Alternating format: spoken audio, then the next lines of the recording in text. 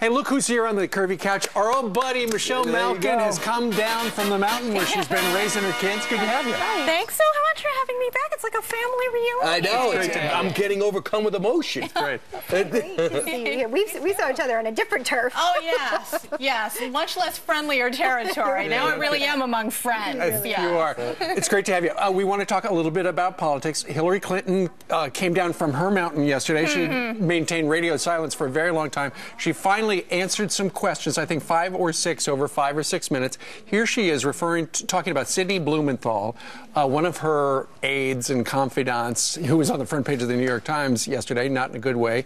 Uh, she was asked about the relationship, and she had this to say.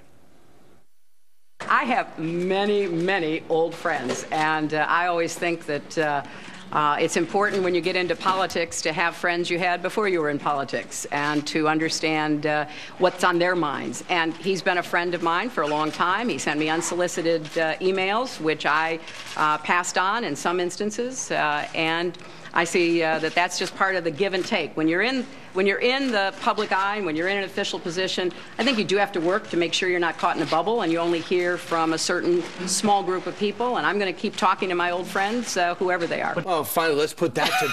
that, that makes total sense. You just wanted Yeah. to stay grounded. Right. Yeah, that's right. You know, this woman lays it on thicker than a John Deere manure spreader. and the Clintons never answer questions, they evade them. And the, invoking the friend card, really, she thinks this is going to work? Well, apparently it has, because, of course, it took this long for the fish wrap of record, the New York Times, to finally deign to recognize the story, which has been floating around for months now about Sid Vicious Blumenthal, the hitman, uh, working his magic behind the scenes there. But Michelle, it's almost back to the future. It's the same thing, different topic, different incident, and yet her Democratic support does not budge. How do you explain that? Well, you know, the culture of corruption runs very deep. I mean, it is has been an incurable disease on the, in the Democratic Party, and they've become completely inured to it, it among uh, voters. And it really, of course, does not help that we have this whitewashing media that has covered her from back in the days when the White House Travel Office and China Gate and and uh, and, and all the rest, when Sidney Blumenthal was, you know, in his in full bloom in Washington D.C. and that, of course, you know that phrase there. In some instances. What is she covering up? What emails have been deleted from? What Sid mail have we not seen yet? SID Mail. Right. Well, she's a lawyer, and so everything is parsed. And speaking of the media, George Stephanopoulos, it was revealed last week, much to his embarrassment, that he has donated a lot of money to the uh, Clinton Foundation. And when he has attacked, for instance, when he was attacking Peter Schweizer uh, about 10 days ago regarding his book, it looked like he was a Clinton attack dog. And now, as it turns out, he was. And this uh, new Rasmussen poll shows that a uh, plurality of Americans say he should not be involved in their presidential campaign at ABC at all. Yeah, that's right. And the people who were polled, of course, have a heck of a lot more common sense than the news officials at ABC who have looked the other way at this from the very day that he was hired. And this is one of my all time pet peeves.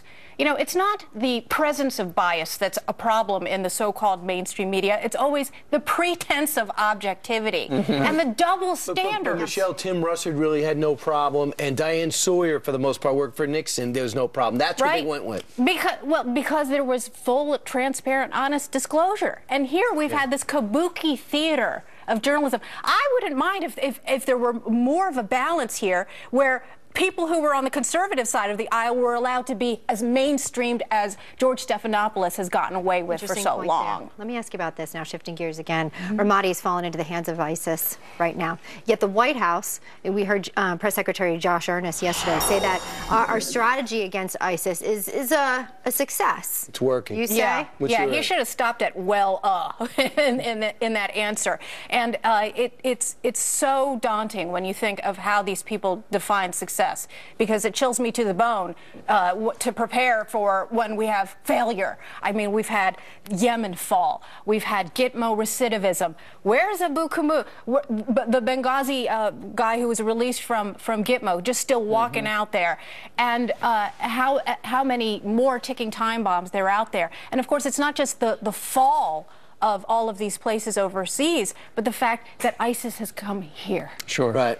So now I got to bring you to something else that you might want to talk about. This is a fantastic idea. It's called Who Built That? This is your latest book, and it's fantastic. That sounds familiar. Yeah, yeah. it's Yeah. all inspiring stories of American tinkerpreneurs. Yeah, but they didn't build that. Well, I love the way you started. Many of you know me as the angry brown lady on cable TV. That's right. But you're much more than that.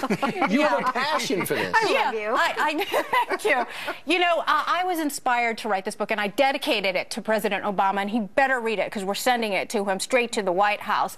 And I started out in that angry cable TV lady mode, but I ended up writing what I think is an incredibly joyful book. And I think it's time, especially for free market conservatives like myself and others who are fighting in the public sphere, to fill this vacuum. And these are stories, it's a treasury of stories that you can actually read out loud and share with your kids.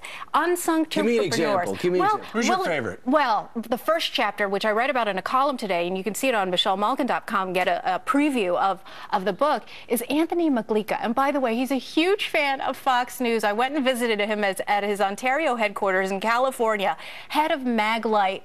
Uh, flashlight. Oh, sure. The creator of the Maglite flashlight. And of course, anybody who is in law enforcement, and, and everyone's got one in their home. We do. This iconic symbol. He's a torchbearer of the American dream. Came here with nothing from an island off of Croatia. $120 and 20 English words is how he puts it. What he all he had, and built this, you know, multi-billion dollar business from nothing. Loves this country and um, won't stop. Unlike the golfer in chief at 1600 Pennsylvania Avenue, this guy's 84 years old, hasn't taken a vacation in 10 years, and doesn't plan on stopping. Now, what do we have uh, in the White House? A guy who denigrates people who take credit for Mm-hmm. their success and refuse the government's hand in the success, the Well, success of their these, businesses. what, what are you hoping that people get by highlighting these entrepreneurs who took great risks and, and in these cases had great success? Look, I want people to understand, and particularly children, homeschooled children. I want grandparents to be reading this to, to their grandkids that it's the free exchange of voluntary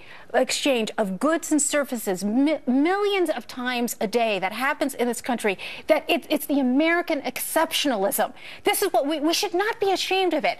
Part of this book is a manifesto against the wealth shaming of the progressives and obama. What was he doing last week? He was calling people who are successful society's lottery winners. Right. this is the guy who tells people at a certain point you've earned enough money. No you're not the decider of our success and happiness. That's the american people. That's our history.